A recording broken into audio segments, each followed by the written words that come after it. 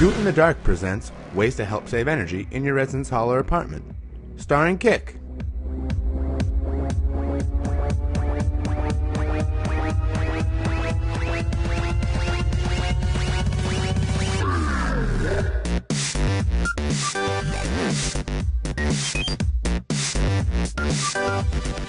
Use Energy Star qualified compact fluorescent light bulbs in your table lamps.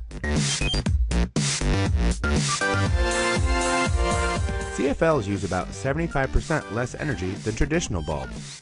That means that if every American home changed one table lamp from an incandescent to a CFL bulb, we would save $700 million annually.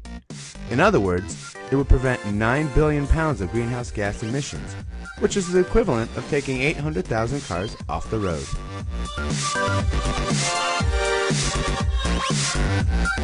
Join our Do It in the Dark community on Facebook and Twitter to find out more ways you can reduce your energy waste each day. Share with others what you are doing to be more energy efficient.